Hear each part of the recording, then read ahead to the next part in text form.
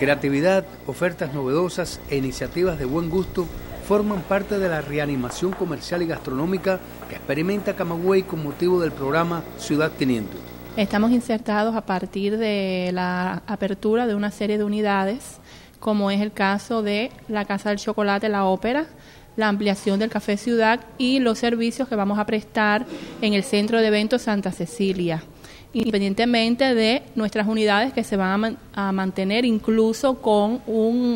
una extensión del horario, independientemente de los servicios gastronómicos que presta la empresa Santa María, prestamos servicios de comercio, de fotografía y de transportación, que son los visitaxis andariegos,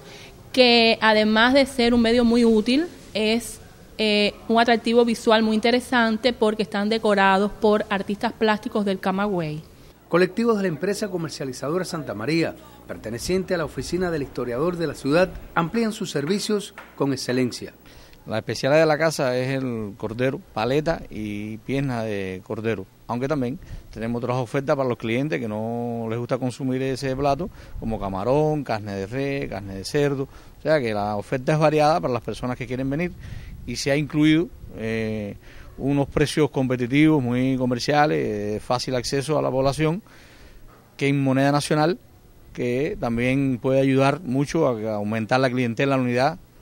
en este nuevo aniversario de, la ciudad, nuestro Camagüey en su 500 aniversario. Desde Camagüey, Luis Naranjo, Sistema Informativo de la Televisión Cubana.